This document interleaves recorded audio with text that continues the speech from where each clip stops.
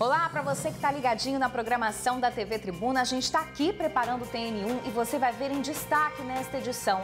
A polícia investiga o caso da jovem de 21 anos que foi sequestrada no meio da rua em Guarapari. A mulher foi arrastada pelos cabelos e levada à força para dentro do carro. Os três envolvidos nesse crime foram detidos. Vendedor de 38 anos sai de casa para guardar o carro e é rendido por uma dupla. Ele acaba ficando com os assaltantes durante algum tempo aqui no bairro de Barcelona. Mas o assalto não deu certo não, foi frustrado pela ação da polícia.